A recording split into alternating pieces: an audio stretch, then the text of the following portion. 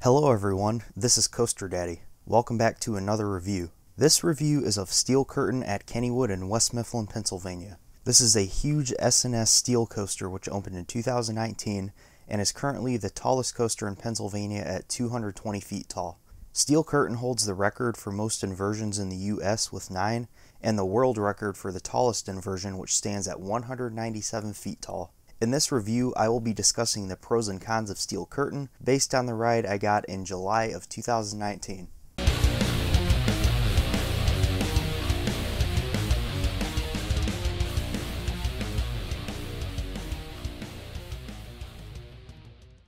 The announcement of Steel Curtain in 2018 was met with a lot of reserved excitement from enthusiasts, myself included. On one hand, this could be one of the top new rides of 2019, or it could end up being way too rough for a brand new steel coaster, as we have seen with a couple recent S&S projects. Personally, I was really excited for this ride for the most part, and it was one of my most anticipated coasters that I would be riding in 2019. It has a strong layout with many unique inversions and a couple airtime hills. Add to that its impressive structure which towers over the skyline and this seems to be a truly spectacular ride.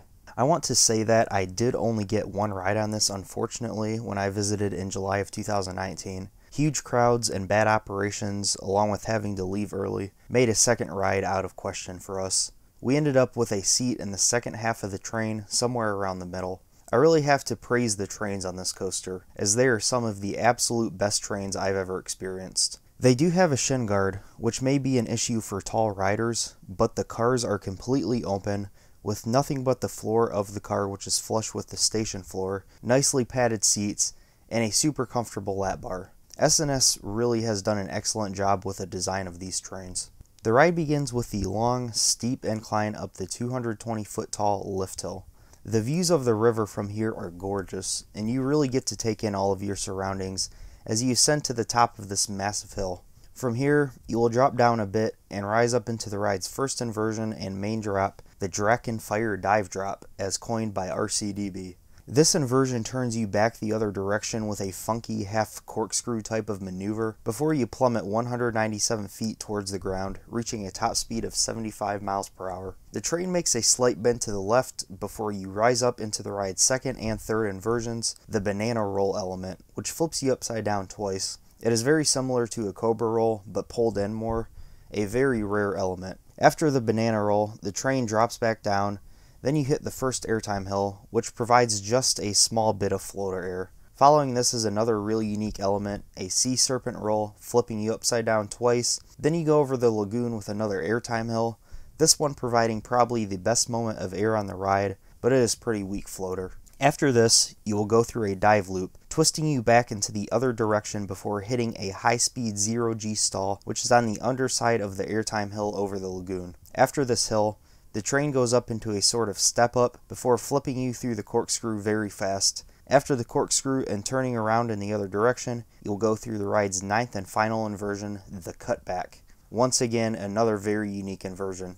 After whipping through the cutback, you will rise up into the ride's final brakes, ending your 50 second, 4,000 foot long ride on Steel Curtain. I will start my overall thoughts of the ride by saying that Steel Curtain is paced very well, holds its speed throughout, and is always throwing something different at you and offering many truly unique elements. This is a very fun ride, and I think it is a spectacular ride for Kennywood. There really isn't much this ride has to offer in terms of airtime though. That shouldn't really come as too much of a surprise, however, as the layout is very much focused on those 9 inversions. However, there are a few moments on this ride, including the two airtime hills, that just don't really offer much airtime. It is okay floater during its best moments. That brings me to another drawback I think this ride has. The inversions here are all pretty fun and unique, but most were very large and didn't really offer many laterals, hang time, or positive Gs. This is a ride that I was expecting to be much more intense than it actually is. Besides the finale of the ride with the corkscrew and cutback inversions, this ride doesn't really offer much in the way of positive g-force. You just kind of gracefully traverse the elements here, and it didn't really feel like you were traveling 75 miles per hour either. That being said, the speed you build with the first drop is held very well throughout the course of this ride, and there aren't any parts of the ride where it felt like it was losing its steam. It just kept powering along right until the final brakes, which was really good. On to the smoothness of this ride. This is the major thing many people were worried about from day one when this ride was announced. So how bad is it in reality? Based on my one ride I got in the back half of the train, I unfortunately have to say that one of the biggest downfalls of this ride for me was how bumpy it was. Let me clarify a bit and say it was not rough or painful, and the track seemed very smooth, but there was an extremely noticeable rattle from the trains, and it lasted throughout pretty much the entire ride experience. I am not someone who complains about a slight B&M rattle that many people are quick to point out. I've never had a problem with that type of rattle. The rattle I experienced, however, on Steel Curtain was just too strong to ignore. Even though it didn't make the ride painful, it is very concerning to me as I was riding this brand new steel coaster just two weeks after it opened. Like I said, I only got one ride on this, and I've heard from countless people that this ride is extremely smooth in the front compared to the back. I even had heard that before I rode it, so I was already prepared for bumpiness when we were assigned to the back portion of the train, and we definitely felt it. Even my brother, who I was with when riding for the first time, Went back to Kennywood more recently and he got another ride, but in the front, and he also said it was very smooth. So, the smoothness of this ride is a bit of a mixed bag, it seems. But it is crazy that one half of the train offers so much of a different experience in terms of smoothness, especially when talking about a ride that just opened a couple months ago. Take that for what it's worth. Like I said, I only got a ride closer to the back. It was very bumpy, but also not rough and painful in any way either, just a bit irritating because it is so new.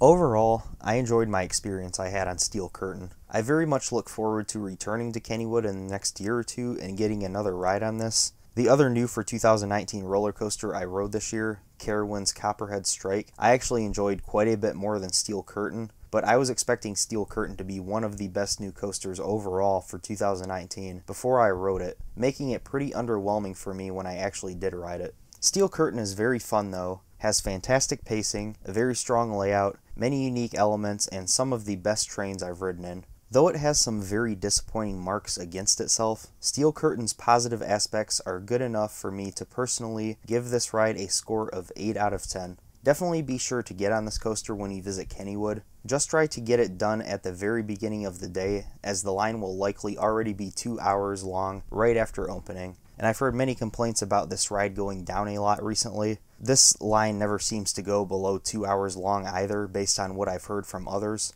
so I would just get this done first. Thanks for watching my review of Steel Curtain. Do you agree or disagree with anything I had to say about this ride, and what was your favorite new ride of 2019? Be sure to check out all of my other coaster reviews in a playlist along with this video if you found my review to be helpful, like my page Coaster Daddy on Facebook, and follow me at Coaster Daddy Official on Instagram. Thanks again for watching. This is Coaster Daddy. Bye.